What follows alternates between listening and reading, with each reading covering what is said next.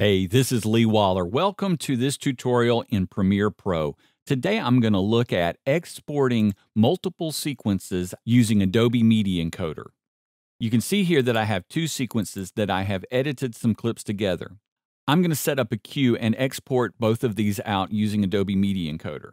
To do that, select one of the sequences and using the shortcut key Command M or Control M, you can open up the export settings there and send that straight to queue. That's going to open up Adobe Media Encoder. And once it opens, that sequence is loaded into the queue. I can jump back to Premiere, jump over to my next sequence, do the same thing. And if that shortcut key is not working for you, go up to File, Export Media. That'll do the same thing. And then send that one to the queue you can continue to load sequences. And once you're done, all of the sequences will be loaded here, ready to go. We do have a few settings we need to take a look at. I want to upload these to YouTube.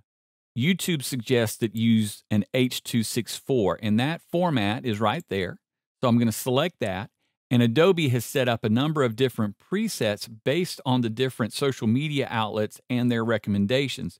So you can see here there's Facebook, there's Twitter, Vimeo, and here's YouTube. So I'm going to make sure that that YouTube 1080p Full HD is selected because these sequences are 1080p. And the next thing I need to check is where I want this to save on my computer so I can then upload it. So I'm going to go to desktop. I'm going to make sure that it's labeled the way I want it to be, and then I'm going to hit save. I'm going to do that for the next one, H.264. Do need to change this preset here drop down to 1080p full HD and then check that. Yes, it's on my desktop and there's basketball.mp4.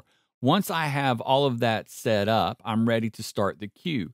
Come over here to the green arrow and start queue. The nice thing about it is it will show you a progress down here, giving you an estimated remaining time, and you can see the progress as it moves through. Depending on your computer, depending on the sequence, uh, a number of things like that, uh, this will take a certain amount of time.